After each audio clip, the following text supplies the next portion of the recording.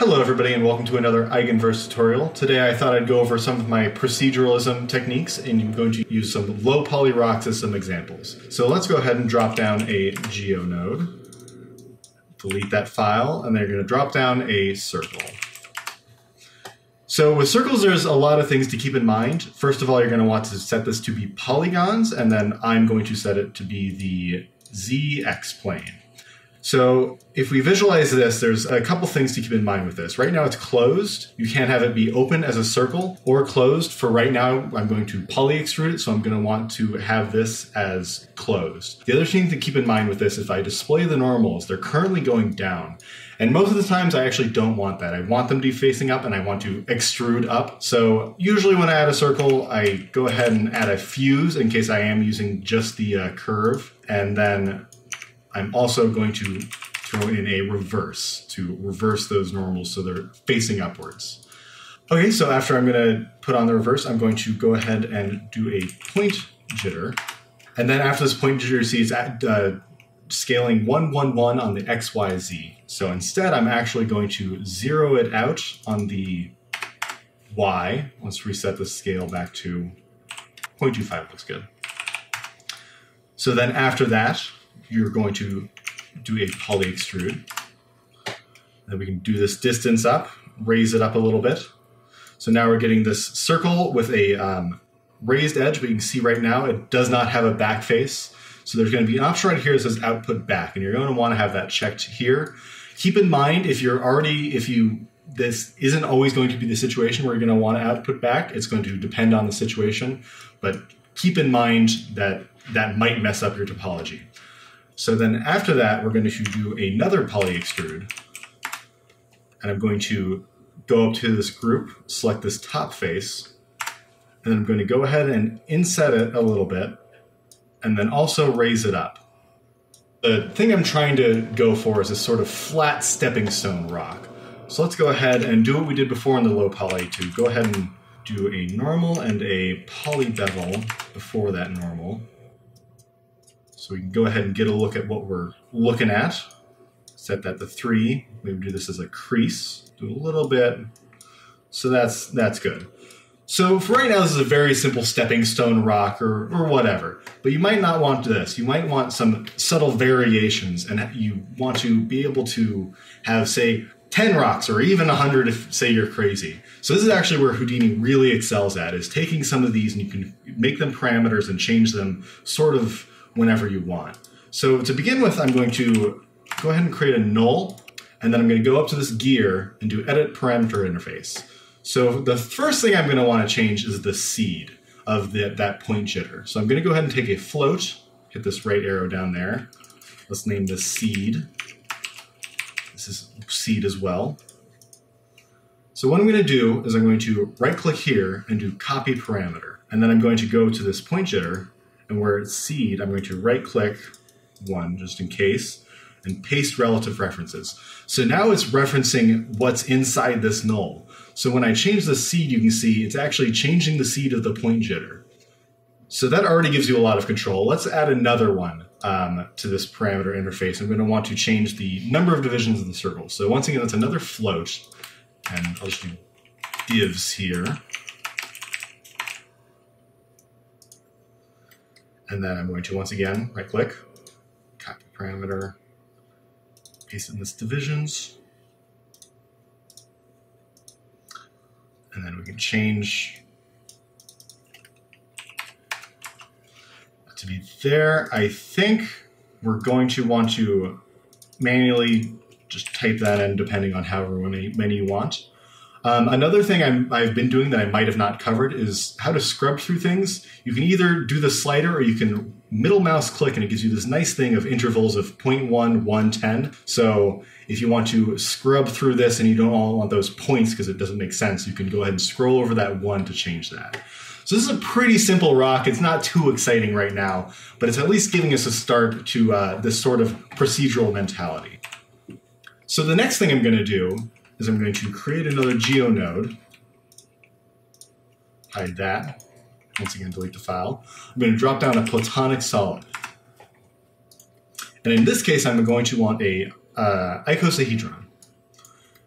And then after that, I'm going to do a Voronoi fracture. So right now that's telling me what I need here is some points for the Voronoi cells. So we're going to do something similar to last time. I'm going to use a slightly different method just to show you how many ways there are to do this.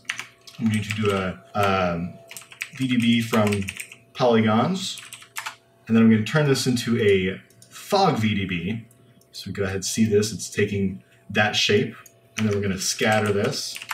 So what these points for the scatter is going to be is not actually putting points on here. We're going to use this as points for the fracture. It has some sort of algorithm. It's going to do some math to sort of fracture between those points. So if we have a thousand, it's going to be pretty crazy and the computer might crash. So let's try 50 and see sort of what it gets from there. So you can see it has those cracks. So um, it's going, it's fracturing that right now. One thing you can do to sort of get a view of this of what it's doing is type in exploded view, and you can actually see each little piece right there. Um, so that's already kind of cool. And what we're going to want to do to make this really procedural is we're going to want to select one of these, and we can change which one we want to select. But say we like that middle guy in there, we're going to want to be able to select that middle guy. So in here, we're going to go to cluster, and then there's this option here for cluster pieces. And uh, what that does is if we look in the geometry spreadsheet and then go to the um, primitive, and then we look here and there's this name and it says piece zero, piece one. So it's actually grouping all of them to show which piece is which. So then we can go ahead and delete this exploded view and then do a delete. And we're going to do at name equals piece and then say one. So right now that's deleting just that one piece. So let's go ahead and say delete non-selected so that we can go ahead and delete all the rest of them. So we can scrub through this and see it's getting a bunch of neat little shapes and we're getting some of them that are you know a bit more rock-like or pebble-like and then there's some other ones that are that really interesting almost crystalline structure like a geode um, it all depends on what you want and there's a lot of ways you can control how that sort of looks but you're generally going to get something that shape so right now, as you can see, when we're scrolling through this, they're all over the place. And that's not really helpful. We're going to actually want them to um, stay in the center, so that way we can change it, and it won't. We won't have to uh, manually move it over the middle because that would be ridiculous. So what we're going to do is have a transform, and then we're going to use a really neat, handy dandy little uh, expression. We're going to do dollar $CEX for this one and then that's going to move it back over to each the origin on each of those. And I think I'm actually going to want the negative of this right now is just doubling it. So let's go ahead and fix that and say we want the opposite of what it's moved off the origin. Okay, so that's how we want it. Now when we look and scrub through these different pieces. They're all staying nice and center, which is exactly what we wanted. So first of all, real quick, we can do what we are doing before to uh, get that nice little shape that we might want. Just real quick.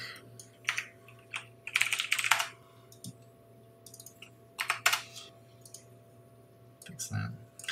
So before I created a, no, a, null node and then copied the parameter. So I'm going to show you a different method of doing this, and this is a little bit easier and it allows for an easier creating of a digital asset, which I might show you a bit later. So what I'm going to do is actually take these and then I'm going to create a subnet. So that collapsed all those functions into a subnet, which one makes it easy to organize everything. And the other thing you can do now is edit the parameter interface for this. And then you're going to dive into here, and then you're going to go ahead and take whatever uh, parameters you're going to want to manipulate. So let's go ahead and take the seed from this, um, the global seed value, and you're going to go ahead and drag that right over there, and it names it for you and everything. So since it's that easy, let's go ahead and, you know, we can do that. How much bevel we want, the shape, you, you know, go wild. Just keep in mind, you know, it's this is entirely for you as the um, who makes the art. It's just sort of to make your job easier. Or in some cases, if you're handing it off to somebody, you're going to really want to make sure you have all your names right, and it's going to be easy for them. So I went uh, accept and apply. So now when you look at this subnet, you can go ahead and just change uh, the global seed and you can just scrub through these. So even somebody who knows nothing about art can say, oh, I want a different one here. And then, you know, I want to change all of these offsets. I think I mistakenly named a couple things weird. Okay, so everyone, thanks so much for watching. I'm, I'm hope you sort of got the bit of the mentality of the Houdini, where it's not about making one thing; it's about making a huge variety of things at one click of uh, your mouse. And I will be, I should be back pretty soon with another tutorial, and I'll be doing something a bit more exciting than just creating rocks. But I'm going to use the same sort of things I've been doing this to show what you can do to create a some really neat VFX.